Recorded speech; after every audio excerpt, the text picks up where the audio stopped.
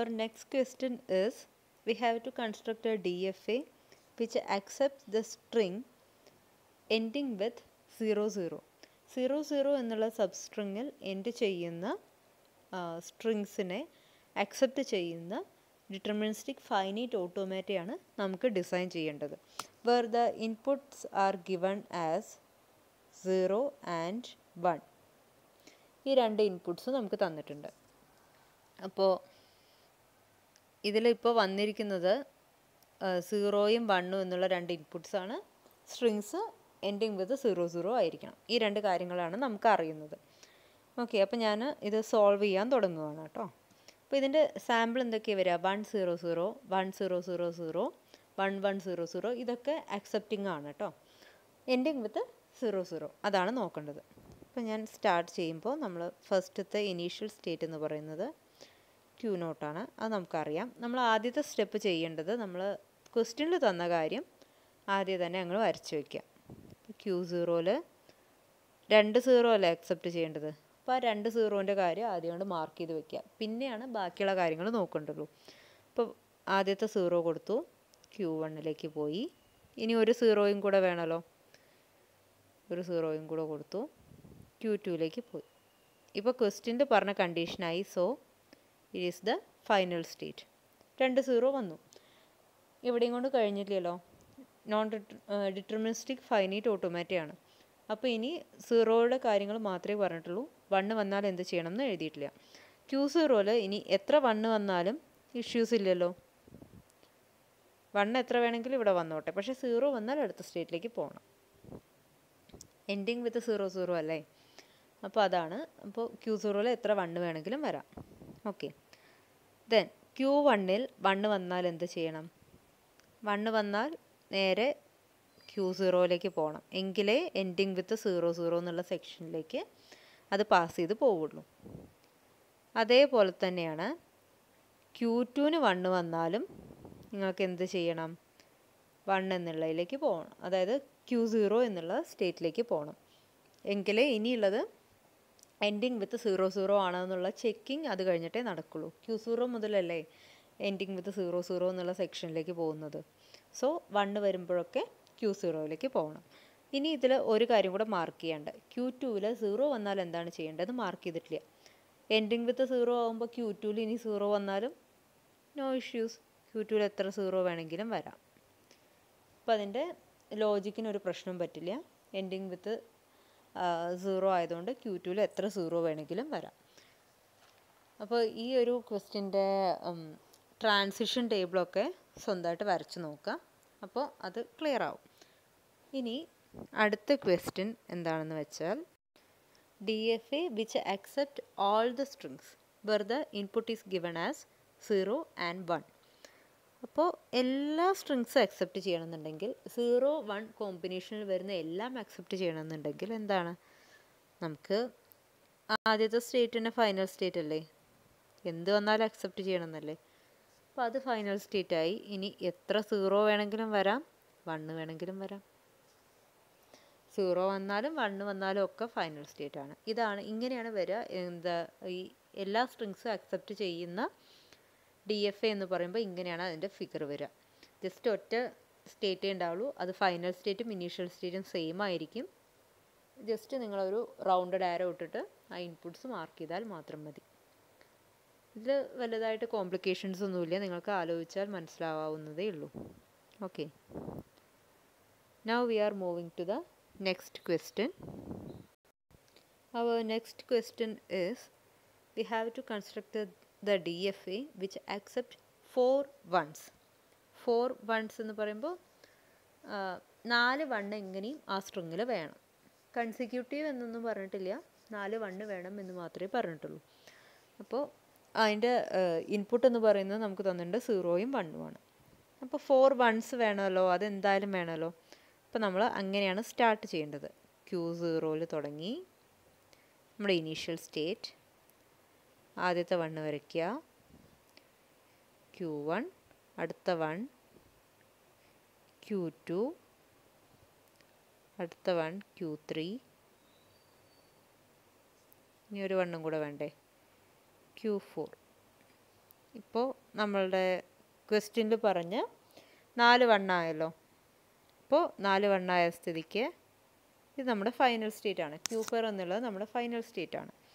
ഇനി ബാക്കിയുള്ളത് ഇതിലൊക്കെ സീറോ വന്നാൽ എന്ത് ചെയ്യണം എന്നുള്ളത് നമ്മൾ എഴുതിയിട്ടില്ല. ഫോർ വൺ വേണമെന്നേ പറഞ്ഞിട്ടുള്ളൂ. കോൺസിക്യൂട്ടീവ് വൺസ് ആണെന്ന് പറഞ്ഞിട്ടില്ല. സോ ക്യൂ സീറോയിൽ എത്ര സീറോ വേണമെങ്കിലും വരാം. സെയിം വേ ക്യൂ വണ്ണിലും എത്ര സീറോ വേണമെങ്കിലും വരാം. അതേപോലെ ക്യൂ ടൂവിലും എത്ര സീറോ വേണമെങ്കിലും വരാം. ക്യൂ ത്രീയിലും എത്ര സീറോ വേണമെങ്കിലും വരാം. അതേപോലെ ക്യൂ ഫോറിലും എത്ര സീറോ വേണമെങ്കിലും വരാം. ഇപ്പോൾ ഈ ഒരു ലോജിക്ക് വെച്ചിട്ട് അതായത് ക്യൂ സീറോയിൽ ഇനി എത്ര വണ്ണ് വന്നാലും കുഴപ്പമില്ല. കാരണം നാല് വണ്ണ് ഓൾറെഡി ആയി. സോ ക്യൂ ഫോറിൽ എത്ര സീറോ വേണമെങ്കിലും വരാം എത്ര വണ്ണ് വേണമെങ്കിലും വരാം. ഓൾറെഡി നമുക്ക് ക്വസ്റ്റ്യനിൽ തന്ന കണ്ടീഷൻ സാറ്റിസ്ഫൈഡ് ആണ്. നാല് വണ്ണ് അക്സെപ്റ്റ് ചെയ്യുക നാല് വണ്ണ് വരണം എന്നേ പറഞ്ഞിട്ടുള്ളൂ. ഇപ്പോൾ വണ്ണ് കഴിഞ്ഞിട്ട് കൺസിക്യൂട്ടീവ് വൺസ് വരാം. One zero one zero one zero one zero എന്ന് വരാം. അങ്ങനെ ഏത് കോമ്പിനേഷനിൽ വേണമെങ്കിലും വരാം. One one zero zero one one വരാം. അതൊക്കെ ഇതിൽ അക്സെപ്റ്റിംഗ് ആണ്. നിങ്ങൾക്ക് ഇതിൽ സാമ്പിൾ സ്ട്രിങ്സ് ഇട്ട് കൊടുത്താൽ മനസ്സിലാവും. സോ ആ ക്വസ്റ്റ്യൻ കറക്റ്റ് വായിക്കുക.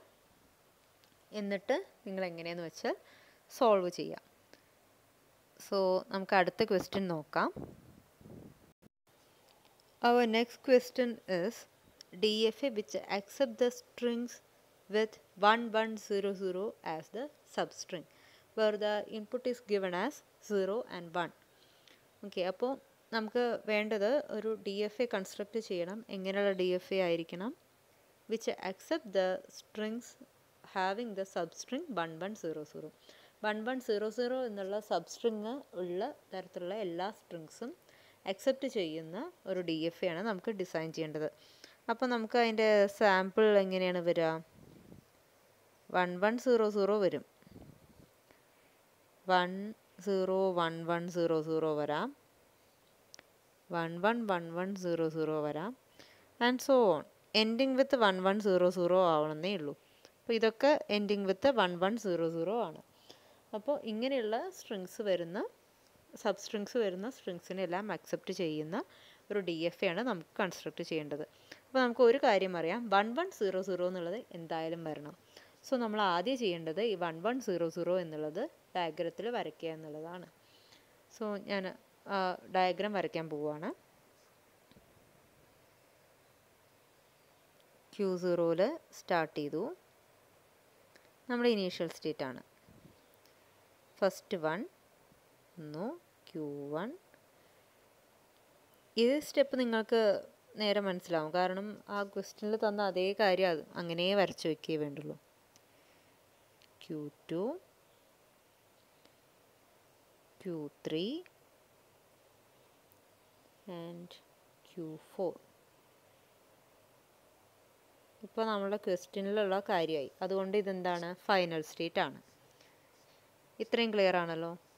അപ്പോൾ ഇനി നമ്മൾ സീറോ വന്നാൽ ബാക്കിയുള്ള സ്റ്റേറ്റിലൊക്കെ ഇനി ഒരു ഇൻപുട്ടും കൂടി ഉണ്ട്. ക്യൂ സീറോയിൽ സീറോ വന്നാൽ എന്താണ് വേണ്ടതെന്ന് എഴുതിയിട്ടില്ല. ക്യൂ വണ്ണിലും സീറോ വന്നാൽ എന്താ വേണ്ടതെന്ന് എഴുതിയിട്ടില്ല. അതേപോലെ ഒന്നിലൊന്നിലും സീറോ വന്നാൽ എന്താണ് ചെയ്യേണ്ടത്? അതേപോലെ വണ്ണ് വന്നാൽ എന്താ ചെയ്യേണ്ടത് എന്നുള്ളത് എഴുതിയിട്ടില്ല. ഒറ്റ ഇൻപുട്ടിന്റെ എഴുതിയിട്ടുള്ളൂ. സോ നമുക്ക് ഒരു കാര്യം കൂടി ഈസി ആയിട്ട് പറ്റും. വൺ വൺ സീറോ സീറോ എന്നുള്ള സ്ട്രിങ് വന്നാൽ സബ് സ്ട്രിങ് വന്നതിന് ശേഷം പിന്നെ എത്ര സീറോ വന്നാലും ഇഷ്യൂസ് ഇല്ല. എത്ര വൺസ് വന്നാലും ഇഷ്യൂസ് ഇല്ല. സോ ക്യൂ ഫോറിൽ എത്ര സീറോ വേണമെങ്കിലും വരാം വണ്ണ് വേണമെങ്കിലും വരാം. സോ തന്ന കാര്യമായല്ലോ.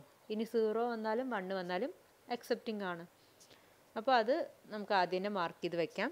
ക്യൂ ഫോറിൽ സീറോ വന്നാലും ഇഷ്യൂസ് ഇല്ല വണ്ണ് വന്നാലും ഇഷ്യൂസ് ഇല്ല.